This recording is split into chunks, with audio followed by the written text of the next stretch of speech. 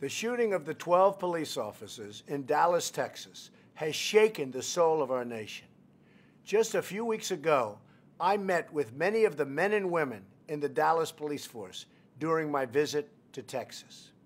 They're not just police officers, they're mothers and fathers, husbands and wives, sons and daughters. And they're all on my mind today. They're on everybody's mind. A brutal attack.